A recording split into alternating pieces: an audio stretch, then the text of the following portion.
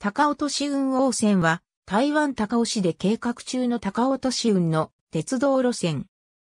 高線、立花線に次ぐ3番目の路線で、鉄道空白地帯だった鳥松区から逆 Y 字型に三民区や霊宮城区、軌道交通が東西方向の平東線や早運立花線に限られていた大鳥山区、新港区の都心を貫き、高尾市沿岸都心部再開発の進む足間新湾区の旅運中心駅、全鎮港中駅に至る、総延長約 22.7km の路線。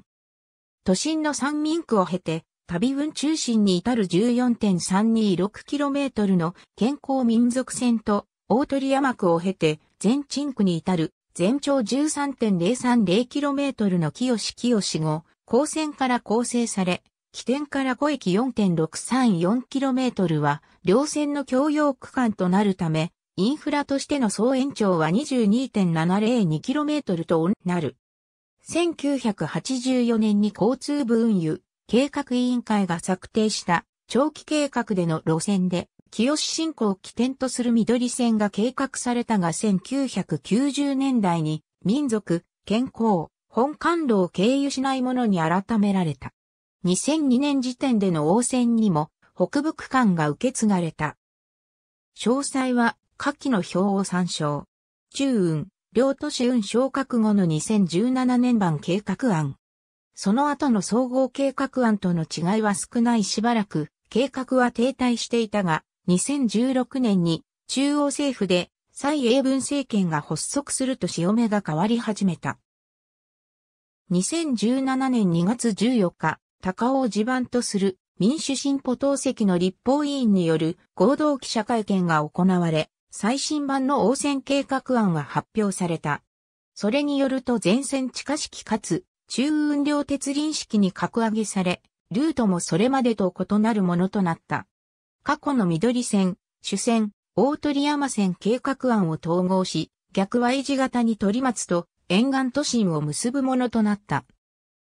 路線記号は Y、東西に分岐する区間は西側をや東側を YB 都市26駅。総事業費は1430億ニュータイワンドル。行政院が推進する前線基礎建設計画のリスト入りを目指すことになった。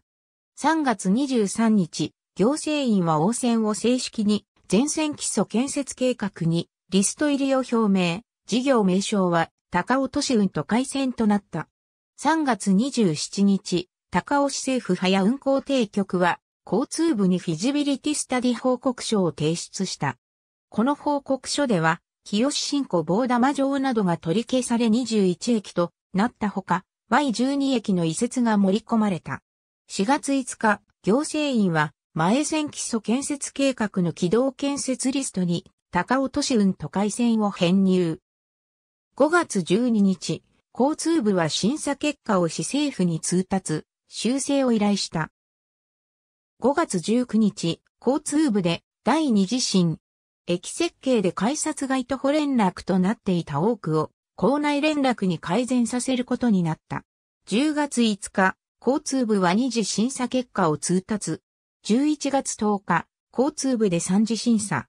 12月20日、交通部が現地監査12月22日、交通部が現地監査を踏まえた初回審議を招集。1月2日、初回審査結果を通達。市政府では Y6Y11Y14Y15Y16 駅の移転や Y11A 駅増設が盛り込んだ修正案が反映された。2月27日、交通部で第4次審査。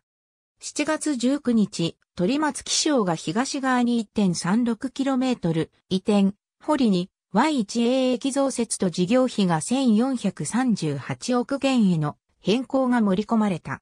芝や運局によると、気象の進行放置は、公有地の割合が多く、民間収容費用の低減が見込めると表明した。審査が遅れた場合は、法定業務である総合計画策定と環境アセスメント、都市計画変更の3つを同時並行することで、時間の着工までの期間を短縮する。9月12日、交通部は、海 S に原則同意、修正後に行政院審査への移行が確実となる。1月8日、国家発展委員会で、会 S 審査が通過、行政院の確定待ちとなる。5月24日、行政院が中央政府の補助800億元を盛り込んだ会 S を承認。5月24日、行政院で承認。中央政府からの補助は800億元へ増額された。2019年6月より始動、会 S 時に追加された駅番号の末尾 A の二駅は正式に設置前提となったことから、この時点で全駅の駅番号が再編された。